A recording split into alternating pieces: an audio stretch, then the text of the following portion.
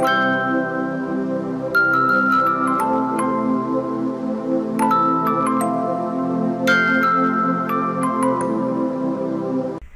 mừng quý vị và các bạn đã quay trở lại với bản tin dự báo thời tiết ngày hôm nay và ngày mai của chúng tôi. Mở đầu bản tin dự báo thời tiết hôm nay sẽ có ngay sau đây là tin áp thấp nhiệt đới sắp xuất hiện trên Biển Đông. Thưa quý vị và các bạn, hiện nay trên Biển Đông tiếp tục xuất hiện thêm một vùng áp thấp nằm ở khu vực Tây Thái Bình Dương. Dự báo khoảng 10 giờ ngày 10 tháng 8, vị trí tâm áp thấp nhiệt đới ở vào khoảng 12,5 đến 13,5 độ Vĩ Bắc 123 đến 124 độ kinh đông trên khu vực vùng biển phía đông miền Trung Philippines. Sức gió mạnh nhất vùng gần tâm áp thấp nhiệt đới mạnh cấp 7, tức là từ 50 đến 60 km/h giật cấp 9. Trong 24 giờ tiếp theo, áp thấp nhiệt đới di chuyển theo hướng Tây Tây Bắc, mỗi giờ đi được từ 10 đến 15 km và có khả năng mạnh thêm. Tại đây, theo như dự đoán, vùng áp thấp này sẽ di chuyển theo hai hướng chính Cụ thể, một là tiến vào biển Đông của nước ta và có khả năng mạnh lên thành áp thấp nhiệt đới. Hai là vùng áp thấp này sẽ tiến vào Đài Loan của Trung Quốc. Vị trí, cường độ và hướng di chuyển của vùng áp thấp này chúng tôi sẽ liên tục cập nhật trong các bản tin sắp tới. Chúng tôi sẽ cố gắng phân tích để đưa ra những thông tin chính xác nhất gửi tới quý vị và các bạn. Tuy nhiên, đây chỉ là dự báo sớm, tình hình trong thực tế còn nhiều diễn biến phức tạp, khó lường nên bà con cần đề phòng và chú ý. Cảnh báo gió mạnh và sóng lớn trên biển. Ở vùng biển phía Bắc có mưa dông, có gió mạnh cấp 6, cấp 7, giật cấp 8, sóng biển cao từ 3,5 đến 5 mét, biển động rất mạnh. Ngoài ra, do ảnh hưởng của gió Tây Nam hoạt động mạnh, nên từ nay đến ngày 10 tháng 8, ở vùng biển từ Bình Định đến Cà Mau, khu vực Biển Đông bao gồm cả vùng biển quần đảo Hoàng Sa và Trường Sa có gió Tây Nam mạnh cấp 6, có lúc cấp 7, giật cấp 8, sóng biển cao từ 2 đến 4 mét, biển động mạnh.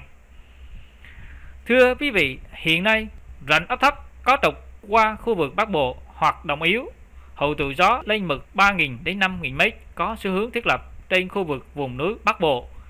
Dự báo do ảnh hưởng của rãnh áp thấp phân tích trên chiều tối và đêm nay và ngày mai ở khu vực vùng núi Bắc Bộ có mưa rào và dông cục bộ có mưa to.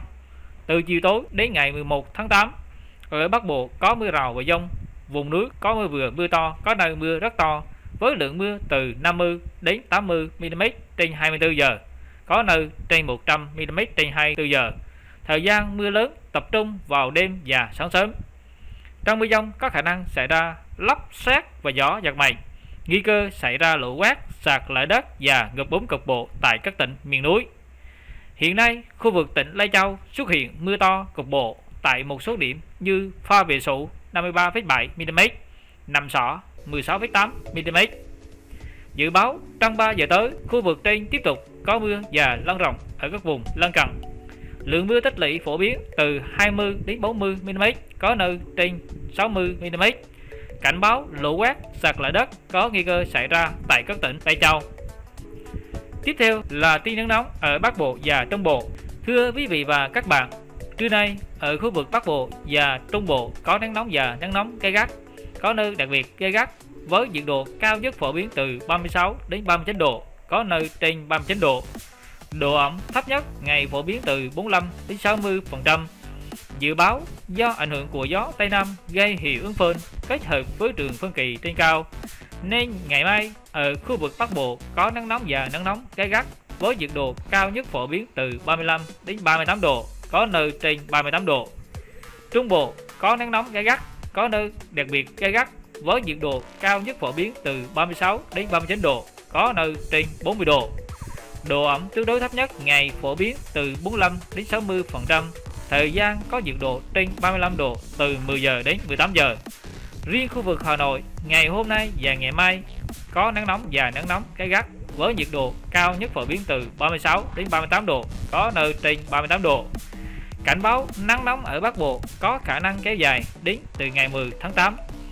Từ ngày 1 tháng 8, nắng nóng có xu hướng dịu dần. Ở khu vực Trung Bộ, nắng nóng còn kéo dài trong nhiều ngày tới.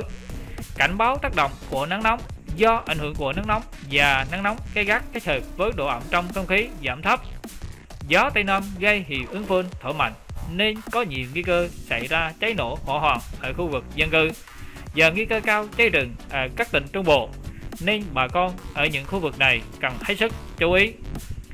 Cảnh báo cấp độ rủi ro thiên tai do nắng nóng là cấp 1.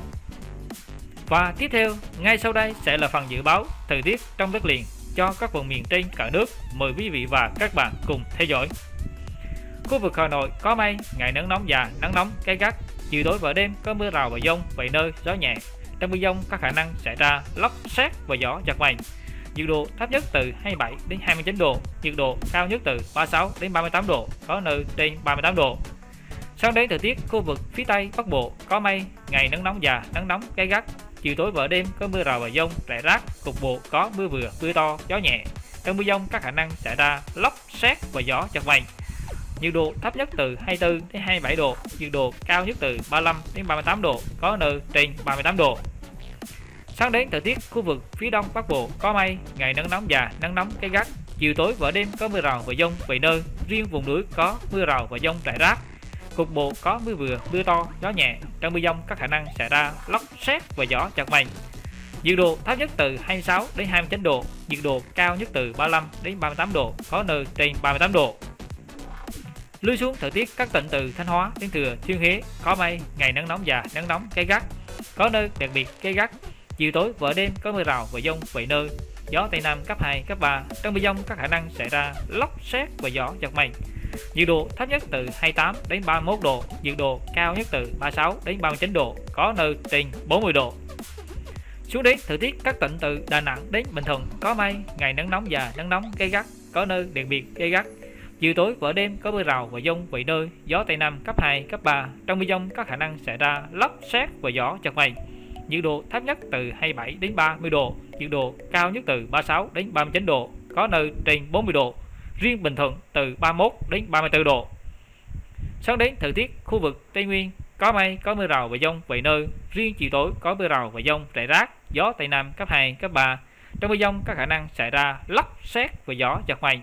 Nhiệt độ thấp nhất từ 21 đến 24 độ, nhiệt độ cao nhất từ 28 đến 31 độ, có nơi trên 31 độ. Lui xuống thời tiết khu vực Nam Bộ có mây, có mưa rào và dông vài nơi, riêng chiều tối có mưa rào và dông rải rác, gió tây nam cấp 3. Trong mưa dông có khả năng xảy ra lốc, xét và gió giật mạnh. Nhiệt độ thấp nhất từ 25 đến 28 độ, nhiệt độ cao nhất từ 31 đến 34 độ. Cuối bản tin dự báo thời tiết hôm nay là dự báo thời tiết cho các vùng biển trên cả nước. Vùng biển Bắc Vịnh Bắc Bộ có mưa rào và dông vài nơi, tầm nhìn xa trên 10 km, gió tây nam đến nam cấp 4. Vùng biển Nam Vịnh Bắc Bộ có mưa rào và dông vài nơi, tầm nhìn xa trên 10 km, gió tây nam cấp 4. Vùng biển từ Quảng Trị đến Quảng Ngãi không mưa, tầm nhìn xa trên 10 km, gió tây nam cấp 4.